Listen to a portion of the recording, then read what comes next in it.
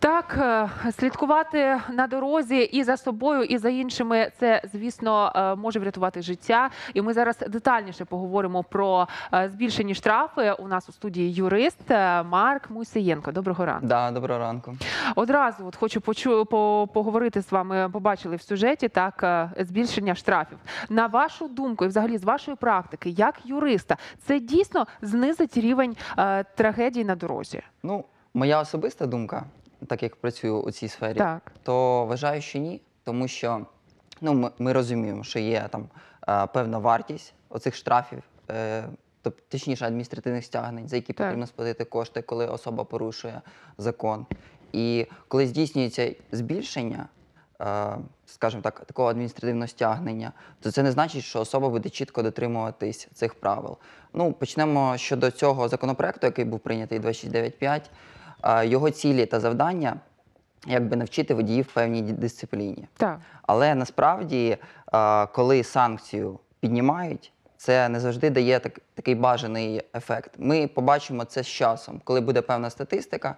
Наприклад, на сьогоднішній день, точніше, станом на 2020 рік, у нас реєструють десь більше 100 тисяч протоколів по 130 статті. Це останнє алкогольне, наркотичне або іншого сп'яніння. Це за який період часу? Більше за один рік. За рік. Да, більше 100 тисяч е, протоколів складають Мгм. поліцейські. Е, Я вважаю, що тут е, неправильно працює сама система. Тобто поліцейські неправильно формують протоколи, є відворотність такого покарання. Якщо системно вивчити цю сферу, то потрібно якби змінити підхід. Наприклад, поліцейський при оформленні адміністративного матеріалу складає протокол на таку особу. Він вказує дуже багато даних, і якщо Так. якісь дані не є чіткими, це є підставою для оскарження там такого протоколу у суді. Тобто, наприклад, е, працівник патрульної поліції зазначає там паспортні дані, коли особа народилась, частину і статтю е, давного адміністративного правопорушення, але це можна ж все упростити. Тобто законодавець повинен розуміти, що, наприклад, е, патрульний поліцейський зупиняє транспортний засіб, Так. е, він порушує певну статтю, він повинен в першу чергу ідентифікувати таку особу. Тобто він може просто вказати його паспортні дані або посвідчення водія, і все. Тобто Тому я- е, спрощення. А взагалі, от е, з юридичної практики, е, якщо траплялися якісь такі випадки, так якщо людина там або в нетверезому стані, не дай Боже, збиває людину, її колись зупиняло те, що в- ну от люди, ми знаємо, що загалом це така звичка є, так нехтування такими правилами на дорозі. Тобто, а випив трішки і поїхав. І часто людина систематично повторює, тобто, а вже потім доходить до того, що трапляється трагедія. Ну, це так? просто знаєш, це говорить про те, що в Україні це безкарно. Тому що давайте давайте подивимось тверезо на ситуацію.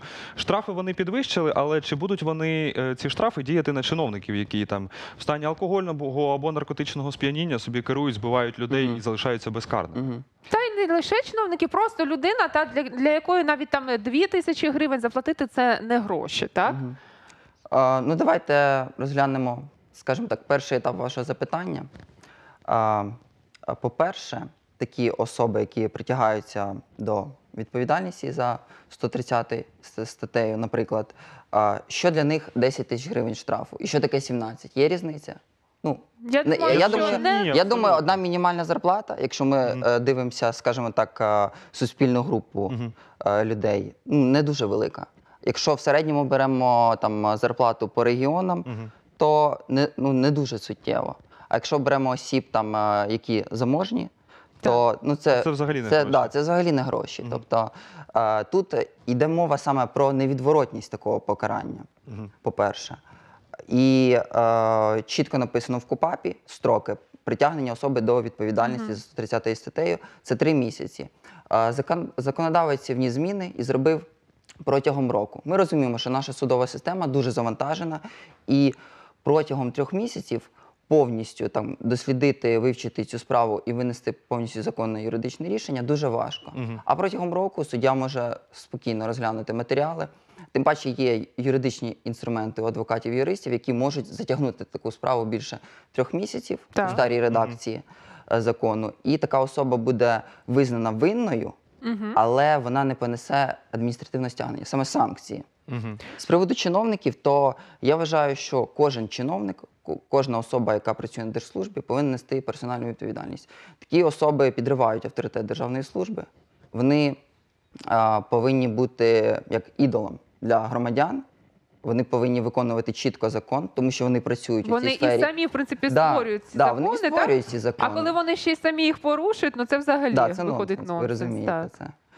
Е, тому е, я вважаю, що депутати трошки пішли не- неправильним шляхом. Ну, м'яко кажучи. Для виш... ну, ну, м'яко кажучи, так. Ну. Типу, е, тут е, ми побачимо, наприклад, через півроку, через рік статистику, побачимо входження певних коштів в бюджет, Так. побачимо, які збитки понесе бюджет Мгм. від е, такої роботи.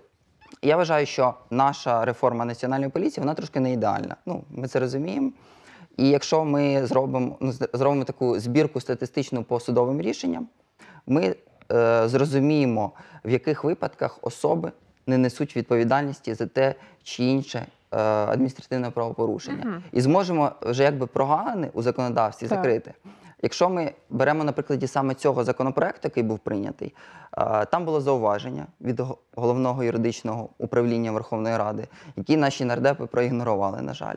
А це є підставою для того, щоб така особа після, наприклад, програшу в першій інстанції, програшу в апеляційній інстанції, піде з конституційною скаргою і оскаржить, е, наприклад, якусь е, статтю так.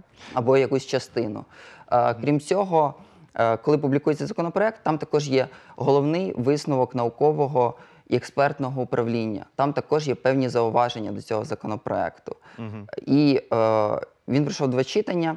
170 правок нардепи прийняли, 407 відмовили. Угу. Е, Коли він з'явився, цей законопроект, то дуже було багато питань щодо повноважень поліції. Тому що Дійсно. Да, я як е, практик у цій сфері скажу, що поліція дуже багато собі дозволяє. Тобто, Тобто для- переходить межі дозволеного Да, переходить- регламентом. Да, так? є час- е, стаття 19 Конституції України, яка чітко регламентує, що державні службовці повинні діяти відповідно до закону в межах та у спосіб. Але ж не завжди не завжди це так і відбувається. Я хотів, знаєте, про що запитати? Дивіться, Мгм. там штрафи не тільки для водіїв, але ще й для пішоходів. На вашу думку, це вплине на пішоходів, бо вони ж нерідко бувають винними. Ну вони є учасниками Так, руху. дорожнього руху, руху. так. Так. Да, я впевнений, що на пішоходів це вплине. У нас пішоходи, коли порушують е, якби, ну, норми чинного законодавства, ну там штраф 150 гривень. Що таке для пішохода перейти на червоне світло? А якщо він перейде на червоне світло як е, учасник дорожнього руху, будуть якісь негативні наслідки. Від е, Так. таких дій його у подальшому він понесе штраф, його там можна навіть буде притягнути до якоїсь е, матеріальної відповідальності. Ну, це буде якби вирок для такої людини. Слухайте, а, от я, наприклад, як водій, я часто бачу, що бабусі переходять ну взагалі не в тому місці, де повинно. Чи вона туди спішить, чи в неї багато грошей штрафи ті платити? І от у мене питання: як мені захистити свої права, якщо я, наприклад, собі їду в третьому ряді собі з е, певним режимом швидкості, і вона просто вилітає на дорогу, я її чіпаю і все. Ну тут же ж я буду винен, правильно? А, ну, дивіться, це ми, ми якби складаємо теоретичну, ну, так, те- теоретичну історію. Так, так. Е, насправді є певна процедура фіксування. Тобто, ви їздите, у вас є реєстратор? Є. Да, чудово. У вас є юрист, адвокат? Ні. Ні, ну буде. Знайомимося. да, дивіться, ви фіксуєте відповідні докази, відповідну ситуацію. Так. Викликаєте поліцію. Поліція приїжджає і е, починає збирати показання осіб, які стали свідками такої події, е, тим паче ваші пояснення, пояснення цієї бабусі. І в даному випадку ви, як водій, відповідно до правил дорожнього руху, повинні реагувати на певну зміну дорожньої обстановки. Тобто, якщо ви дотримувалися певної відстані. Угу. Проміжутку, у вас е, була швидкість в межах е, чинного законодавства, яке дозволяє їхати на цьому участку дорожньо, ну, дорожньо-транспортної системи, то ви не будете винні. Насправді. А от якщо е, сталося так, що, наприклад, ні свідків, і в, реєстраторі сіла батарейка. Угу. Таке, як тоді доводити, хто прав, хто винен? І Ну, просто є факт, що ти наїхав на бабусю, Просто є але факт, вона так. переходила в невстановленому, не на Але нюанс, переході. вона так? знаходиться на там посередині дороги. Угу. Ну, дивіться, буде ж якась відповідна доказова база, будуть ваші пояснення, будуть пояснення цієї бабусі, чому вона там.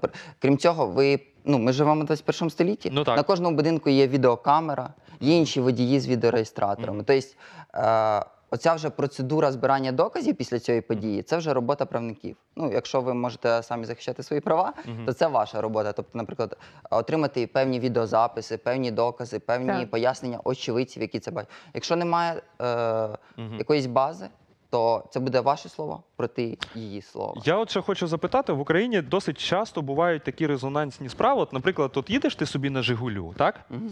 Перед тобою вилітає Мерседес, різко по тормозам, Жигуль в Мерседес, ну і коротше аварія. Мгм. У тебе і реєстратор, і купа свідків, але все одно рішення суду не на твою користь, воно на користь е, того, хто сидів в Мерседесі.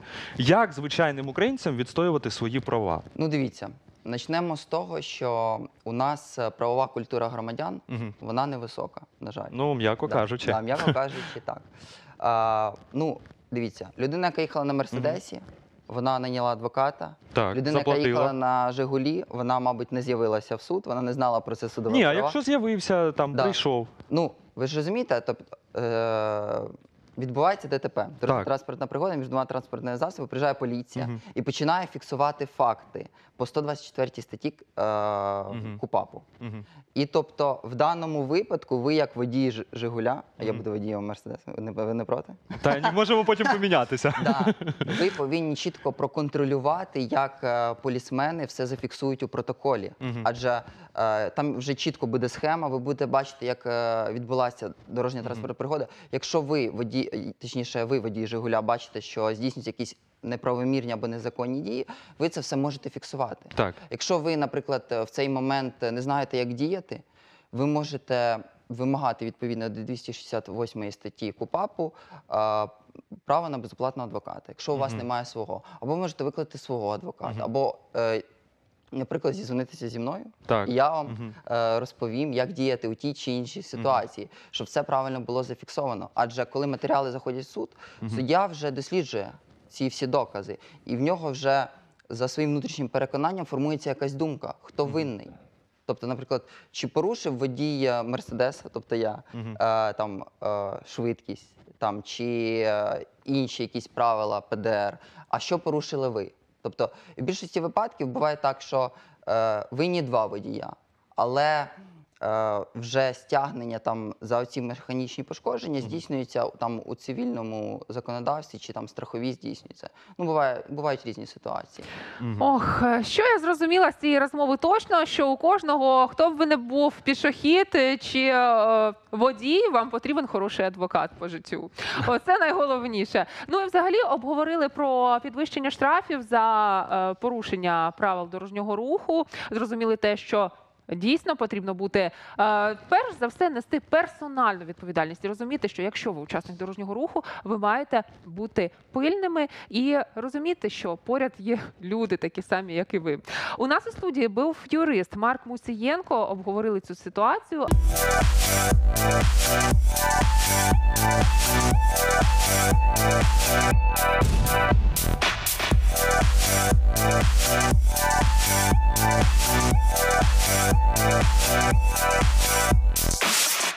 От серйозно кажу, досить ходити по інших каналах. Е, правда тут, на нашому ютуб-каналі. Підписуємось. І дзвіночки, дзвіночки, ще раз дзвіночки. Натискайте, аби бачити нас кожного дня. До зустрічі. We'll be right